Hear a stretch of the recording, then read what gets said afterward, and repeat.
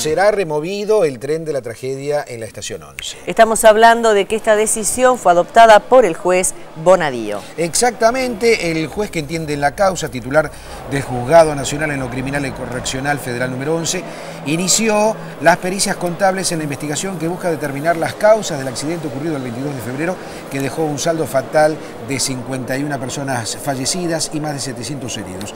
El magistrado mantuvo una reunión con tres profesionales del cuerpo de peritos, contadores oficiales de la Corte Suprema designados al efecto y con un perito de parte nombrado por la empresa TVA. El juez consideró además concluida la recolección de pruebas en la formación siniestrada y ordenó su remoción de la estación, según dio cuenta un informe judicial. Dispuso, luego de ser retirado, el tren sea custodiado por efectivos de la Federal.